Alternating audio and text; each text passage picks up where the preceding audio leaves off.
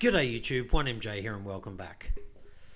Alright, Sunday afternoon here in Australia and the markets have pulled back a little bit again. So Bitcoin just constantly getting rejected at around that kind of $50,000 mark at the moment. So we haven't really sort of seen that weekend pump. Again, we've been, you know, pumping through the weekends and kind of retracing through the weekdays over the last sort of few yeah, a couple of days, couple of weeks, or not couple of days, definitely sort of couple of weeks. And now we're not seeing that. It just seems we are kind of ranging, caught in a, yeah, a ranging pattern. But anyway, the market down a little bit, still above 2 trillion, which is really nice. Bitcoin dominance dropped just a little bit, but still in the 43%. Gas prices still fairly high, $4.55 for a basic transaction. All right, as we can see, it's a bit of a mixed bag. Some things have done well, other things other things haven't. Right, what's done the best in the last 24 hours? What's the leader? In the top 100, that is. Holy dooly. Bitcoin Cash 154% in the last 24 hours. That is quite a move. I mean, XE Cash likewise 122% in the last 24 hours. Bitcoin Gold's been on a rise. Near Protocol, Arweave, Ravane, Luna, Audius still making some nice moves. Uh, I think this was a little bit higher and it had a retracement though. I think it was $3 something. So, yeah, doing all right. Look, a couple of amazing double digit moves, a couple of really nice sort of double digit moves, uh, and then, you know, some high single digit moves as well. But the market is down. So, what about losses though? Who hasn't performed that well? Right, Safe Moon, there we go. Drop back down to the three. Celo's down, Thorchain's down, Maddox down, uh, Decred's down, uh, XD Fin's down. So look, one fairly big uh, move down, uh, one, yeah, again, not great. No one likes any kind of losses, but 10%'s not too bad, Cello. And then, you know, we're into the single digit losses. And again, a lot of these coins have already pumped over the last sort of few weeks. So there's bound to be a retracement. And as long as Bitcoin can't sort of get above that 50,000, a lot of the altcoins are going to struggle a little bit. If Bitcoin just sort of ranges around 50,000 but doesn't constantly kind of get rejected, the altcoins could go on a bit of a run. But again, I think the market's going to be quite scared if Bitcoin can't break that 50,000. I think Bitcoin needs to slowly be ticking upwards a little bit, not too much. It can, you know, jump above 50, drop just down below, jump up to 52,000, drop down to 50,000, jump up to 53,000, drop down to 51,000, something like that. And then the altcoins are going to start to do much better. But as long as Bitcoin keeps getting rejected at the $50,000 mark, I think you're going to be hard up to find too much more profits from the altcoins. Could be completely wrong though. It's not my. Uh, it's just my personal opinion. It's never financial advice, but I think that will have the market a little bit spooked because a lot of people are still scared that this is a dead cat bounce. And so far, it hasn't proven uh, that theory wrong. Uh, it hasn't proven it right either. All right, let's go over to the Bitcoin chart, and here we can see and it is almost playing it out perfectly. Like I said, we just keep bouncing on this bottom line here at the moment, and we have now been ranging sideways for. Whew, there we go. A little bit over a week. And I mean, you could sort of almost say from around about sort of back here, really. So, what's that? The 9th of August.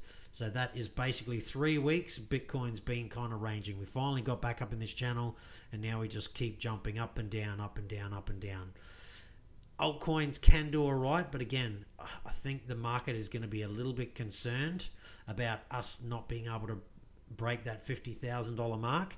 And this is starting to look a lot more like this. We come up, we drop down. We come up, we drop down. We come up, set a high, drop down, come up, set another higher high, drop down, come up, set another higher high, drop down and now maybe we are starting to do this again. So this definitely could be in a much smaller time frame and I'm not saying it is I'm just saying what it looks like is this could be a uh, distribution phase again on a much smaller time frame. And you know maybe the cycles have really changed now that the big players are here. Maybe we will never see, you know, the four year cycle. Is it dead? I mean, that is the question. It's not that we won't, won't have the halvings every four years anymore, but these massive, you know, uh, fluctuations up and then massive fluctuations down. Are they now dead because the institutions are here? Like if institutions bought in at sort of you know thirty thousand, even forty thousand, they're not going to want to let Bitcoin ever go below that. Really, I'm not saying they wouldn't let it go a little bit below it, and sometimes there may be things happening in the world that completely force their hand. But why would you want to buy something at you know forty thousand and then let it dip below that uh, for any prolonged period, other than you've got a whole lot of money ready to go to buy even more again to lower your uh, initial sort of buy-in price? But that's sort of something I'm looking at at the moment. And again, trying to make decisions on you know is this four-year cycle uh, theory now dead and dusted that big money's here? Because it was easy to play out like that before but can it still do that now? Or is bitcoin now going to play out like you know our regular kind of markets and just slowly creep up? Don't get me wrong still have corrections here and there but you know whether we're going to see the you know 30 40x uh, you know moves to the upside uh, followed by you know 70 to 90% moves to the downside yeah, I guess time's going to tell. We'll have to wait and see. But what's interesting is this 100, sorry, 50 day moving average is slowly starting to creep up towards this 200 day moving average. And if the 50 day moving average breaks the 200 day moving average, people tend to call that a golden cross and mean that it's super bullish. It's not always. Uh, and again, these are indicators that we used to be able to use. I think a lot of the indicators that we used to be able to use won't be as accurate now because there's big money here and they look at you know millions of different uh, indicators. They don't just use a couple of simple ones that we're all sort of used to. So hence why we need to use on-chain analytics a lot more. And even then you know you hear stories about you know there's not as many big wallets anymore because what they're trying to do to skew the analytics is rather than having one wallet with you know let's say a thousand bitcoin in it they might have five or ten different wallets with a whole lot less in it to try and skew the analytics. So these are the things that we need to keep in mind. I don't know if this stuff is absolutely happening but it is just something i'm at least conscious of and it is making me reevaluate you know whether i'll sell any bitcoin ever again and I'm, i might just hold it because I got it, you know, at such a good price compared to where it is now. It'd really take a miracle for it to ever go back down there. So really, I may as well just hold it. And then whether we're going to see those kind of altcoin crashes of you know 99% again, because if we don't see another bear market like that, then we're not going to. We definitely did see altcoins crash almost 90% in this though. We did see some crash like that. Others not so much. So that's what I'm just waiting to see. You know, is the four year cycle dead? Uh, the bear market's going to be this. Is this now the bear market? And that's it. And then you just recover. Because again, this is Bitcoin at the moment and it's become institutionalized. Maybe those kind of, again, big, massive drops like that are just simply done and we may never see them again outside of, again, some kind of black swan event. So something to consider. But Bitcoin Still traveling up, upwards at the moment. It is just staying right along the bottom of this channel. And again, it has been in this channel for quite some time. So hopefully this will load a little bit faster. But there you go. That was the big crash back in March of 2020. And then look what it did since then. Traveled up, traveled down, traveled up, stayed up for quite some time, traveled down and broke out to the low side. But now it seems to be tracking just nicely. And again, this is on the bottom level. So for th- this says to me, at the moment, Bitcoin feels like it's a good buy based on this price history. Now, this isn't going to be the price history for the rest of its life. It's likely going to have other corrections. As you can see, this didn't play out for this part, didn't play out for that part, but it's had a lot of different kind of moves. And is this just maybe this or this or this, and we still have all of this to go, to then be followed by, unfortunately, a brutal correction. Again, same thing as this. A lot of people think this is the 2013. So we've had the big pump, it's going to fall off, and then, you know, maybe we're doing this right now before it then has that last final leg up. Very hard to know. You know, anyone who says they absolutely do know what's going to happen, uh, I'd be careful, you know, taking too much advice from that person because no one truly knows what's going to happen. We're all just taking, you know, a bit of an educated guess. But at the moment, as long as it keeps, you know ticking up along the bottom of this line, I am still very bullish on it. All right, this isn't an actual story, but this is just going to show how crazy things are in NFTs at the moment. This is on Decrypt, and I like Decrypt. They're a pretty good uh, place to go and get some crypto news. Ether Rock NFT's original code has bug that lets anyone mint more for free. That's one story. Ethereum NFT CryptoPunk hits 1 billion in total sales. That's two NFT stories. OpenSea's weekly sales surpass 1 billion for the first time. That's three NFTs. If you don't kill, uh, sorry, if you don't buy this NFT, we kill the dog. oh, good lord. Uh, that's four NFTs. NBA star Stephen Curry buys uh, Ethereum Bored Ape Yacht Club NFT for 180,000. I think that's five or six. Was it one, two, three, four, five? That is five NFT stories, all on the front page of just one, you know, crypto uh, sort of specific website. I do like NFTs, uh, and I wish that I had have bought some, but again, I just I've said this before. I just don't know enough about it outside of buying something that's you know fairly cheap only costs a few dollars simply because i like the look of it and for sentimental value i'm just i'm too scared. Number one i don't have anywhere near enough crypto to come and buy some of these you know things that are worth hundreds of thousands of dollars or millions of dollars. I just, yeah, I straight up don't have enough. But number two, even if I did, uh, I'd be worried that I'd just be buying the wrong thing and it'd sort of go to zero. Hence why, for a lot of these NFTs, uh, I'm not sure about the bored apes. You know, maybe they'll be good. Crypto punks. This is something that I wish I had have been able to, you know, sort of it and bought some of. I'd love to have some of them. I think they really will hold their value. But yeah, I just haven't jumped in. I haven't bought a single NFT yet. Uh, I'll probably wait and see if there is another bear market in the future. I may well look to sort of buy, uh, you know, maybe I could get a crypto punk at some price that's just not completely and utterly ridiculous. Well, not so much ridiculous, but just completely out of uh, my league. Although I don't, I'm not holding my uh, breath for that because I don't know. But again, NFTs they just feel very hyped at the moment, and I think there is uh, definitely going to be a slow down at some stage. Look, whether we're at that peak stage yet, I don't know, but it is scary, you know, that these things, you know, a year ago you could buy them for a couple of hundred dollars and now they are worth hundreds of thousands of dollars. I mean, we don't even have cryptos uh, that have done that, but NFTs have done that. So something to think about. All right.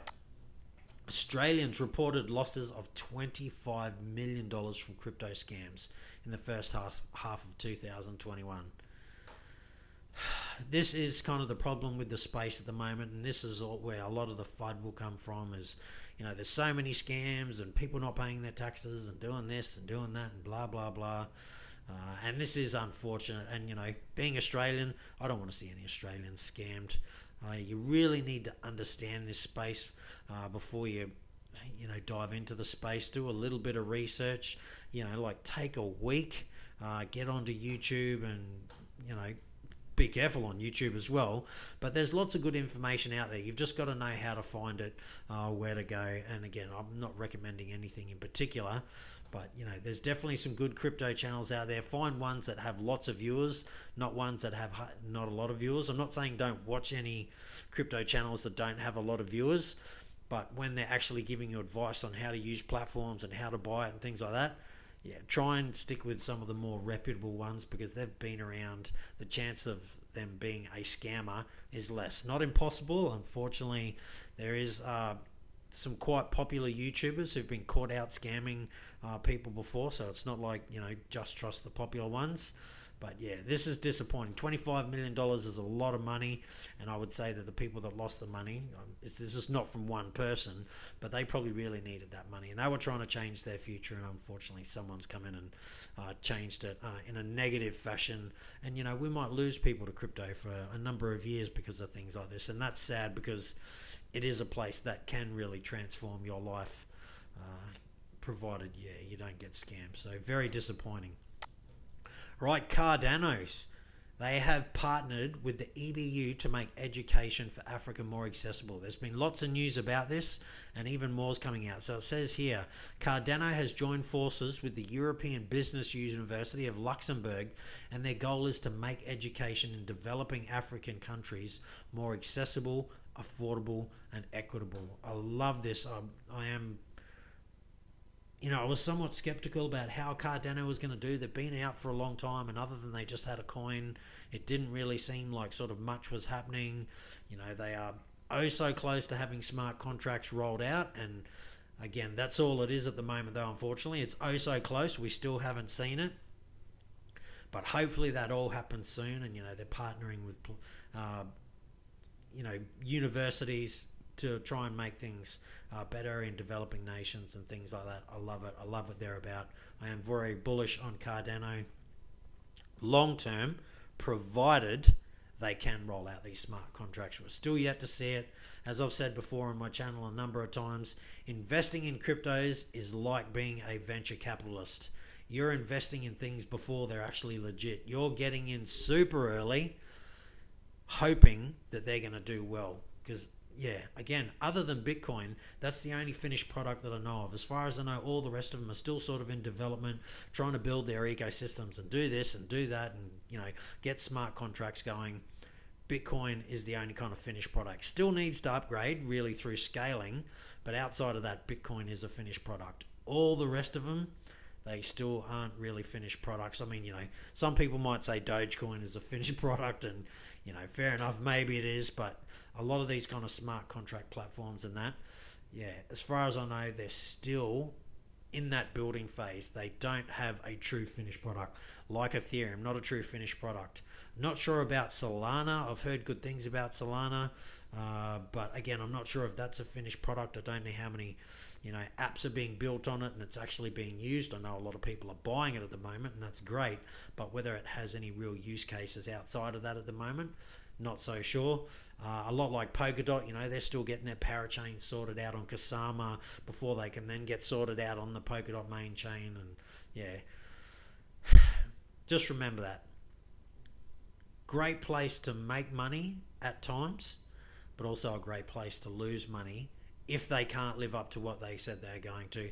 And then again, we simply go back to here, you know, there's a lot of scams going out there. So please just be careful.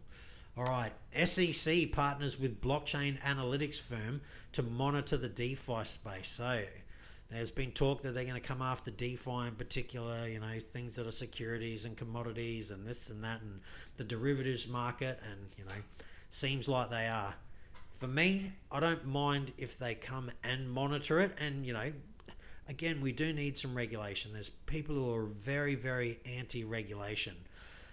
And I would say that's fine because they're probably a little bit smarter and know a little bit more. But everyone's anti regulation until you lose a whole lot of money. And then all of a sudden you want something done about it. You know, we need to get the police to go after them. And it's like, well, we needed some regulation. If there was no regulation, then there's no reason that the police can go after anyone and things like that. So happy for them to come, monitor it, take action when needed. But again, my thing is, I don't mind regulation. I don't like over regulation when all of a sudden the old system think that they can bring their old rules to the new system. Uh, and then all they do is basically kill it and turn the new system into the old system. The old system doesn't work. We need new rules, new laws, new regulations for this new system to allow it to grow. Again, weed out the bad players, go after the bad players, and things like that. But let the people who are doing the right thing foster and innovate things. Some mistakes are going to be made.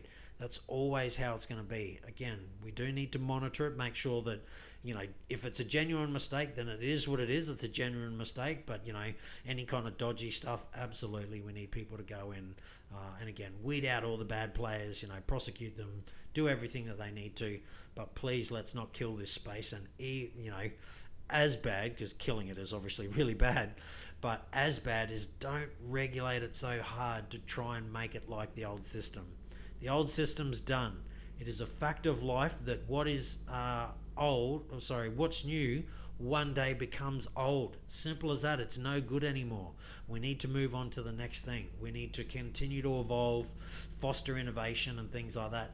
And that's what the crypto space is, and particularly DeFi. It is opening up a whole new system that is a lot fairer for you know people in general than yeah the old system that we have that we know just benefits the rich and keeps the poor and middle class working and poor and middle class. Last but not least, more news with the SEC. So the SEC wins judgment against actor Steven Seagal after he ignores court order to settle crypto fraud case. So there are a number of people that got caught out back in 2017, and uh, old Steven Seagal was one of them. I mean, he's just getting it from all angles. He's his movie career is basically done and dusted. He's been sort of ousted as a, a sexual sort of tyrant towards women and all sorts of stuff going on, and now he's got this. So the famous actor had agreed to pay disord. Oh God, am I going to say this right? disgorgement of more than $330,000 to settle the crypto fraud case he was involved in. The SEC alleged that Seagal failed to disclose that he was promised 250,000 in cash, $750,000 in tokens for promoting an initial coin offering ICO for Bitcoin 2Gen. Oh god, that just sounds so horrible straight away. The movie star has made just one $75,000 payment and is delinquent on the remainder. So the SEC are coming after him. He's currently in Russia though, so maybe he's going to uh, sort of seek asylum. He's a citizen there. Whether you know they'll be after to go after him in Russia to get the money, considering uh, the president over there. Uh, God, what's his name? Vladimir Putin. That it issued a presidential decree in 2016 granting uh, him Russian citizenship. So, yeah, can the SEC actually get him? That is the question. All right, look, that's it from me. Stay safe. Be kind to one another. Hopefully, you're on that gain train. Some people might be a little bit on the uh, downside, but that's the way of the markets. They're going to fluctuate. Till next time, I'm out.